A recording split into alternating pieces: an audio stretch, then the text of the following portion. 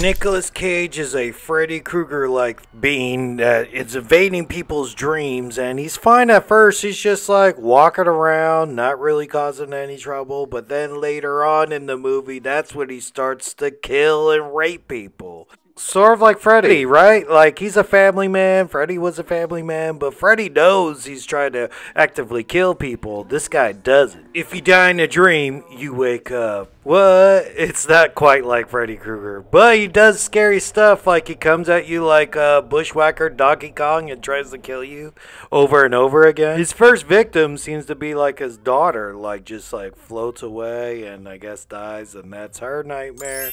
And other people have nightmares where, oh, well, they ran over their husband or something like that. And then this guy just sorts of watches. Force of mushrooms, and an evil guy comes and snaps off your neck. His excuse could be like, hey, I fucking do it. That uh, demon devil guy did. Same thing with the earthquake. Like, all right, man, some people are falling till they're dead. I didn't push them. But he also gets invited into this girl's like dorm or something. He's all, "Why'd you do that?" And then uh, strangles her to death. So he does a lot of strangling and hits this dude with a hammer. And you're like, "Wow, that's probably like the most violent death that you get to." You thought you would wake up and get bashed in the head with a hammer. Yeah, Freddy had some way cooler deaths. No creativity to it, and then he's just uh, strangling the chick from behind.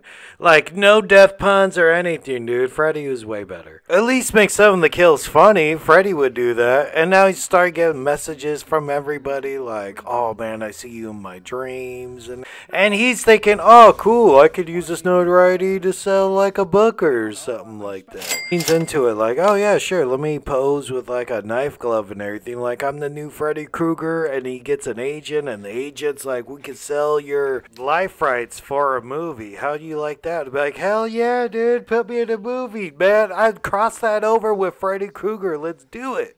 And people start really hating him in public too. Like he's getting the OJ treatment. Like uh, some of our guests are comfortable that you're eating here. And he only starts to feel bad about it after he actually shows up in his own dream and shoots him full of arrows and kills him and then he makes like an apology. And everyone makes fun of the apology. It's so cringe. Like i'm suffering from these nightmares too. Like oh my god. I don't know how much time it's been but it's such a bad apology. And it's like i'm one of you guys too. I'm a victim too it's the worst like YouTube apology ever. And he actually tries to haunt his ex-wife's dreams and that's the end of the movie. Hopefully this leads to like a real Nicolas Cage Freddy Krueger movie. One can hope.